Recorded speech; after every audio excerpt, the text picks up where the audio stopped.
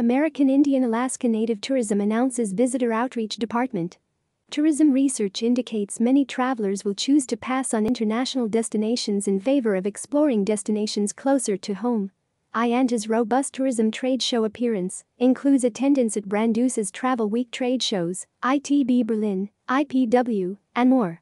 This is IANTA's second new department this year, following the introduction of the new Tribal RELATIONS and Outreach Department. The new Department of American Indian Alaska Native Tourism will fulfill the organization's goals in expanding awareness of indigenous experiences and destinations with domestic and international visitors. The department is being headed by former Visit Albuquerque employee Maureen Chavez, Pueblo of Acoma, who has a long and distinguished career in tourism, hospitality, and destination sales.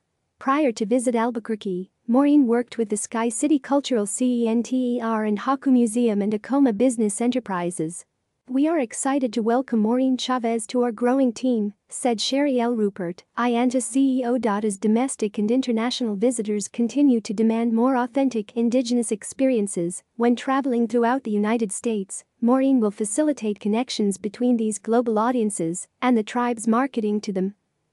In addition to identifying top consumer markets globally, the new department will also maintain and grow IANTA's robust tourism trade show appearance, which includes attendance at Brand USA's Travel Week trade shows, ITB Berlin, Showcase USA Italy, National Tourism Association and IPW, the largest showcase of U.S. travel destinations and products in the world.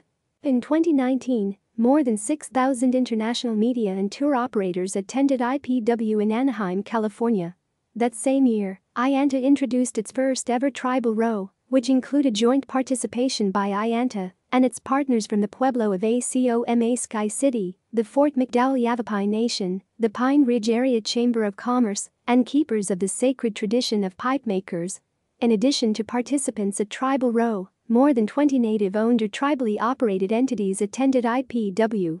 As the hospitality industry redefines itself in response to recent global events, tourism research indicates that many travelers will choose to pass on international destinations in favor of exploring destinations closer to home.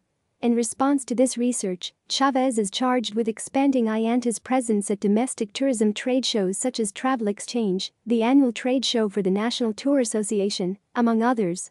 I encourage you all to reach out and congratulate Maureen and while you do, be sure to learn more about how you can work with IANTA to share your cultural heritage tourism programming with domestic and international travelers, said Rupert. The new department was established effective March 29, 2021.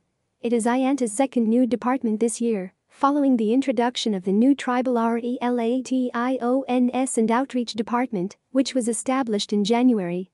Number rebuild interval